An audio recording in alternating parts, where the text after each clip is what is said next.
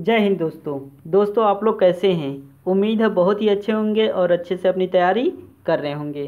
तो चलिए फ्रेंड आज के लेक्चर में हम जनरल अवेयरनेस के टॉप टेन क्वेश्चन डिस्कस करेंगे, जो आपके आने वाले सभी एग्ज़ामों के पॉइंट ऑफ़ व्यू से बहुत ही इंपॉर्टेंट लेक्चर हैं। तो चलिए स्टार्ट करते हैं। देखते हैं क्वेश्चन नंबर फ़र्स्ट इसको आप लोग स्टार लगा लीजिएगा, क्योंकि ये बार बार पूछा जा रहा है। क्वेश्चन क्या है? किस वर्ष महात्मा गांधी भारत वापस लौटे थे। तो किस वर्ष महात्मा गांधी भारत वापस लौटे थे, आपको बताना है। 1918 में 1915 में 1925 में या 1909 में? तो इसका सही आंसर हो जाएगा ऑप्शन बी 1915 में। ठीक है फ्रेंड्स? यानी 9 जनवरी 1915 को दक्षिण अफ्रीका से भारत वापस आए। उसके बाद पूछ सकता है कि ये कब गए थे? तो अट्ठारह ईस्वी में दक्षिण अफ्रीका के एक व्यापारी, दादा अब्दुल्ला के मुकदमे की पैरवी हेतु गांधी जी दक्षिण अफ्रीका गए थे। उसके बाद गांधी जी यहाँ पे असहयोग आंदोलन 1 अगस्त 1920 को शुरू कर दिया था। अब पूछ लेगा कि गांधी जी की मृत्यु कब हुई थी? तो 30 जनवरी 1948 को दिल्ली के विडला भवन में प्रार्थना प्रार्थना सभा में जाते हुए नाथूराम गौडसे ने इनकी हत्या कर दी थी। क्वेश्चन नंबर दो। किसी राज्य के मुख्यमंत्री को कौन नियुक्त करता है? तो बताइए कौन नियुक्त करता है? तो उस राज्य का राज्यपाल, ठीक है? यानी राज्य के राज्यपाल नियुक्त करते हैं मुख्यमंत्री की, ठीक है फ्रेंड्स? अब देखिएगा, इसके कुछ बेसिक पॉइंट्स हैं जो कि आपको पता रहना चाहिए। तो ध्यान दीजिएगा, अनुच्छेद एक सौ चौंसठ के अनुसार मुख्यमंत्री की नियुक्ति राज्यपाल करेगा। ठीक है फ्रेंड्स उसके बाद देखिए, राज्य, राज्यपाल, राज्य का क्या होता है? तो ये संवैधानिक प्रमुख होता है। और मुख्यमंत्री क्या होता है? तो ये मुख्यमंत्री राज्य की कार्यपालिका का वास्तविक प्रधान होता है। तो ये दो पॉइंट्स आप लोग नोट कर लीजिएगा। और मुख्यमंत्री कब चुना जाता है? जब फ्रेंड्स, संसदीय व्यवस्था में राज्यपाल बहुमत दल के नेता को मुख्यमंत्री चुनता है। यानी जो बहुमत दल का नेता होता है, उसे ही राज्यपाल मुख्यमंत्री चुनता है। ठीक है फ्रेंड्स? अब ये क्वेश्चन सॉल्व करिए। विश्व का सबसे विस्तृत लिखित संविधान किस देश का है? Bharat, America, Pakistan, Australia. तो इसका सही आंसर हो जाएगा ऑप्शन ए भारत का है। ठीक है फ्रेंड्स? अब पूछ सकता है कि भारत का भारत का निर्माण, ठीक है? कितने समय लगे थे? तो दो वर्ष, ग्यारह में अट्ठारह दिन लगे थे। ठीक है? उसके बाद फ्रेंड्स पूछ सकता है कितने अधिवेशन हुए थे? तो बारह अधिवेशन हुए थे। ठीक है फ्रेंड्स? तो ये कुछ पॉइंट्स हैं। उसके बाद पूछ सकता है कि अंतिम बैठक कब हुई थी? तो इसको भी नोट कर लीजिएगा।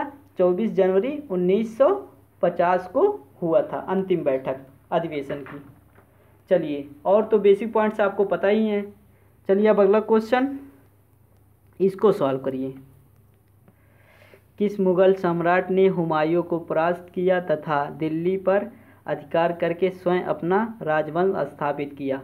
तो कौन सा सम्राट है आपको बताना है? वो भी मुगल सम्राट है। ध्यान दीजिएगा, मुगल मुगल सम्राट है। तो इसका सही आंसर हो जाएगा ऑप्शन ए, शेर शाह सूरी ठीक है फ्रेंड्स? शेर शाह सूरी ने हुमायूं को परास्त किया था तथा दिल्ली पर अधिकार करके स्वयं अपना राजवंश स्थापित किया। शेर शाह सूरी ने उत्तर भारत में शूर वंश के द्वितीय अफगान साम्राज्य की स्थापना की। ठीक है? पहला अफगान साम्राज्य लोधी वंश का था, यानी पहला अफगान साम्राज्य किसका था? लोजी वंश का था। उसके बाद 22 मई 1545 को कलिंजर पर आक्रमण के समय तोहफा खाना फट जाने से शेरशाह की मृत्यु हो गई। अब पूछ सकता है कि शेरशाह की मृत्यु कब हुई थी, किस कारण हुई थी? तो फ्रेंड्स 22 मई 1545 को, ठीक है, कलिंजर पर आक्रमण करते समय तो खाना फट जाने से शेरशाह की मृत्यु हुई। ठीक है फ्रेंड्स? तो चलिए अगला क्वेश्चन। चलिए इसको सॉल्व करिए। खगोल पिंड जिसमें अपना प्रकाश यूँ उष्मा नहीं होता, उन्हें क्या कहा जाता है? तो उन्हें क्या कहा जाता है? आपको आंसर देना है।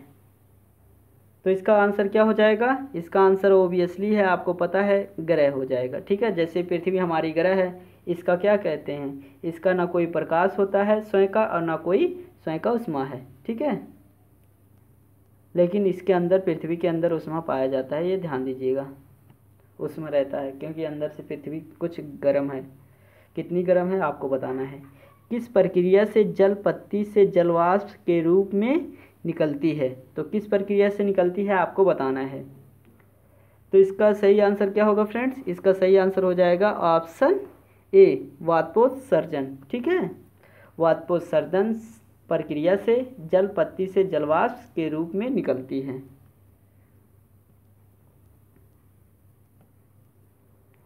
शरीर में सबसे छोटी रक्त वाहिका एक है। कौन सी है आपको बताना है? केसिका धमनी, वेना, कावा, नस। तो इसका सही आंसर हो जाएगा ऑप्शन ए केसिका है। ठीक है फ्रेंड्स? अब ये क्वेश्चन सॉल्व करिए। निम्नलिखित में से किस खेल में नेट का उपयोग करने की आवश्यकता नहीं है? तो किस खेल में नेट का उपयोग करने की आवश्यकता नहीं है, आपको बताना है। टेनिस में, टेबल टेनिस में, बैडमिंटन में या गोल्फ में? तो इसका सही आंसर हो जाएगा क्या? इसका सही आंसर हो जाएगा ऑप्शन डी, गोल्फ में। चलिए, काफ़ी लोगों ने आंसर सही दिया। थैंक यू थैंक यू निम्नलिखित में से कौन सी नृत्य कला अन्य दिशा अन्य दिए गए से भिन्न है। निम्नलिखित में से कौन सी नृत्य कला अन्य दिए गए से भिन्न है, आपको बताना है। कुंचिपुड़ी भांगड़ा, कथक, भरतनाट्यम। तो इसका सही आंसर क्या होगा फ्रेंड्स? इसका सही आंसर हो जाएगा ऑप्शन बी भांगड़ा। ठीक है फ्रेंड्स? अब देखिएगा, भांगड़ा नृत्य कला अन्य दिए गए से भिन्न है। भांगड़ा पंजाब की नृत्य शैली है। यह पुरुष प्रधान नृत्य है, यानी यह पुरुषों के द्वारा है। आमतौर पर यह किस कब मनाया जाता है? तो यह नृत्य बैसाखी पर्व पर किया जाता है। ठीक है फ्रेंड्स? तो चलिए अगला क्वेश्चन, जो कि बहुत इम्पोर्टेंट इंपॉर्टेंट क्वेश्चन है और इस वीडियो का लास्ट क्वेश्चन। निम्नलिखित में से कौन भारत तथा चीन के मध्य एक अंतर्राष्ट्रीय सीमा है? तो कौन सी है अंतर्राष्ट्रीय सीमा? आपको बताना है। तो इसका सही आंसर क्या होगा फ्रेंड्स? इसका सही आंसर हो जाएगा ऑप्शन सी, मैक मोहन रेखा। ठीक है फ्रेंड्स, अब पूछ सकता है कि ये जो डूरंड रेखा है, ये किसके किसके बीच स्थित है? तो ये अफ़गानिस्तान और पाकिस्तान के बीच स्थित है। अब यहाँ पे रेड क्लिफ तो रेड है, यानी रेड का मतलब खतरा। तो खतरा हमारा किस देश से है? पाकिस्तान से है। पाकिस्तान से रहता है, क्योंकि पाकिस्तान अपना हमेशा ही उठ पड़ाम काम करता रहता है। तो इसलिए रेड क्लिफ रेखा भारत और पाकिस्तान के बीच स्थित है। समझ गए आप लोग? तो कैसा लगा ये लेक्चर? नीचे हमें कमेंट करके ज़रूर बताइएगा। अगर अच्छा लगे वीडियो को लाइक करिएगा और अपने दोस्तों में भी शेयर करिएगा। अभी तक आप लोगों ने चैनल को सब्सक्राइब नहीं किया तो चैनल को सब्सक्राइब कर लीजिएगा। बेल आइकन को प्रेस कर देंगे तो वीडियो के नोटिफिकेशन आपको सबसे पहले मिलते रहेंगे। तो चलिए, मिलते हैं नेक्स्ट वीडियो में। तब तक के लिए जय हिंद वंदे मातरम। Thank you student